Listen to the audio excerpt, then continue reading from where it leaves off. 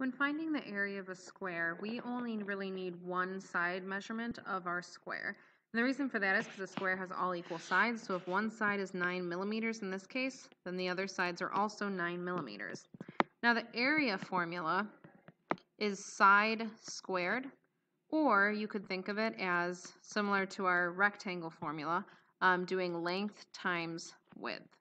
And I do write my L as a cursive L because if I don't, then it kind of looks like a 1. So be careful with your variables. So I can plug in. I have 9 times 9, which is the same thing as side squared, 9 squared. And I get 81 millimeters squared as my area. Remember your units for area are always units squared.